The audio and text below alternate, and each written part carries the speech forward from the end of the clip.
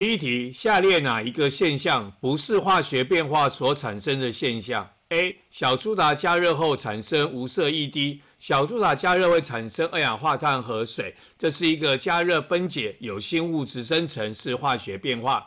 B. 蝶豆花水容易加食术后的颜色变化，这就是酸碱指示剂的颜色变化。老师在上课时候提示过，这是一种化学变化。C 自来水煮沸产生气泡，那这个是所谓的三态变化，液体呢变成气体，所以这是一个物理变化。猪盐酸加入小苏打粉产生气泡，那么这个也是产生二氧化碳，那也是有新物质生成，所以它也是化学变化。所以第一题我们说，下列哪一个现象不是化学变化所产生的现象？我们答案选的是 C，自来水煮沸产生气泡。